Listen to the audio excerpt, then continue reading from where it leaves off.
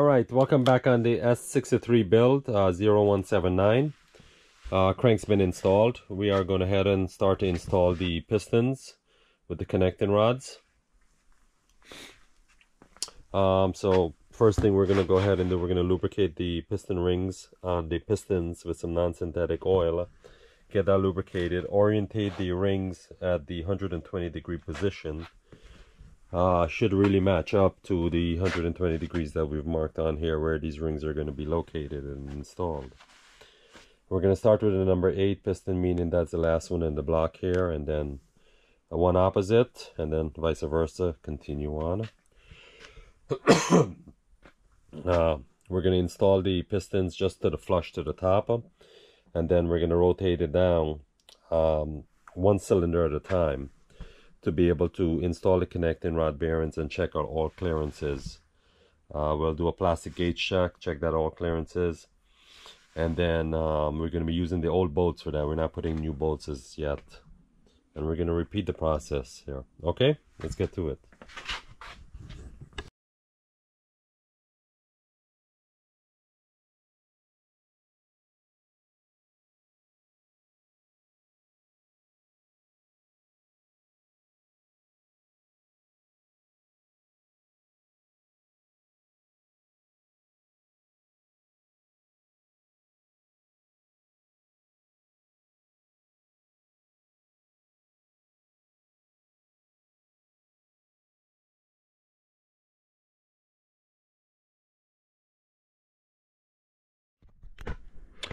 Okay, we've got the plastic gauge set into position across both rods. We're going to go ahead and install the cap and check our clearance.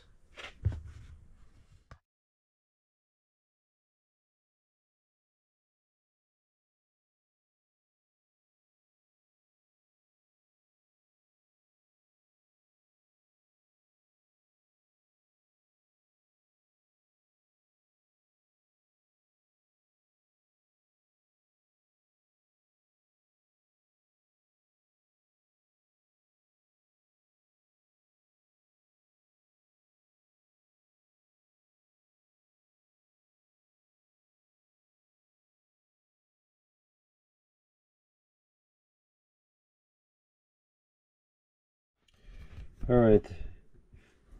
Got our uh, connecting rod clearance on number four and number eight. Uh, looks pretty damn good. Very very happy with this.